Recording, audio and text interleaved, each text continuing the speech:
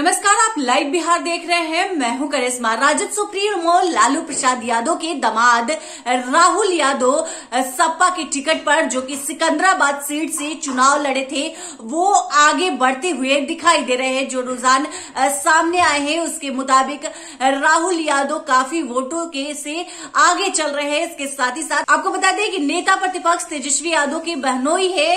राहुल यादव, वो सपा की टिकट पर सिकंदराबाद सीट से चुनाव लड़े थे और इस सीट से उनकी जीत होती हुई दिखाई दे रही है।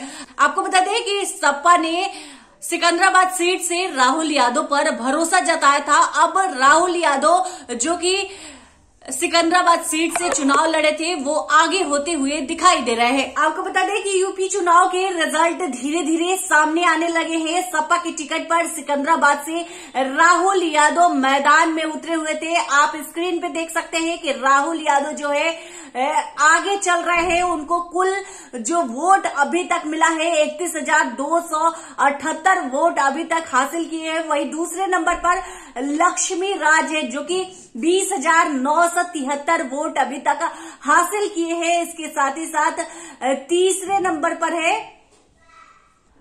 मानवीर सिंह, जो कि बहुजन समाजवादी पार्टी से है, वो पाँच हज़ार सत्तर वोट अभी तक हासिल किए हैं। वही कांग्रेस की बात करें तो कांग्रेस काफ़ी पीछे दिखाई दे रहा है सलीम अख्तर खान, जो कि कांग्रेस के टिकट पर वहाँ से चुनाव लड़े थे और उनको मात्र 660 वोट ही अभी तक हासिल हुए तो कुल मिलाकर राजद सुप्रीमो लालू प्रसाद यादव के दामाद राहुल यादव और तेजस्वी यादव के बहनोई आगे दिखाई दे रहे हैं। इकतीस हज़ार दो सौ अठहत्तर वोट उन्होंने अभी तक लाया है, जब तक ये वीडियो बनाया गया है, उस समय का अपडेट हम आपको दे रहे हैं कि लालू प्रसाद यादव के दामाद, राहुल यादव सपा के टिकट पर सिकंदराबाद सीट से चुनाव लड़े थे और सिकंदराबाद सीट से राहुल यादव की जीत होती हुई दिखाई दे रही है। नेता प्रतिपक्ष तेजस्वी यादव जो कि हमेशा से ये भरोसा जता रहे थे कि उनके जो बहनोई है, वो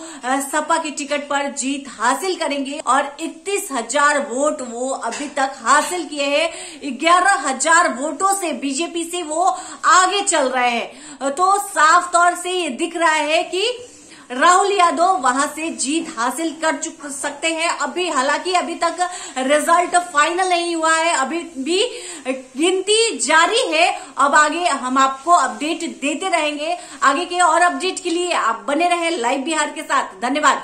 अभी तक आपने हमारे चैनल को सब्सक्राइब न किया हो तो जल्दी सब्सक्राइब कर ले और फेसबुक पर लाइक करना न भूले। लाइव बिहार यूट्यूब पर सब्सक्राइब और फेसबुक पर लाइक ज़रूर करें।